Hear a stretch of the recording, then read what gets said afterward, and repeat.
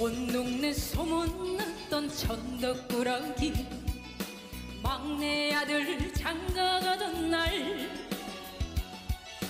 알턴니가 빠졌다며 덩실더덩실. 춤을 추던 우리 아버지.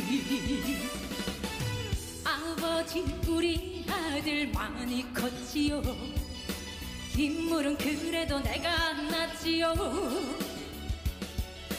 고사리 손으로 따라주는 막걸리 한 잔. 아버지 생각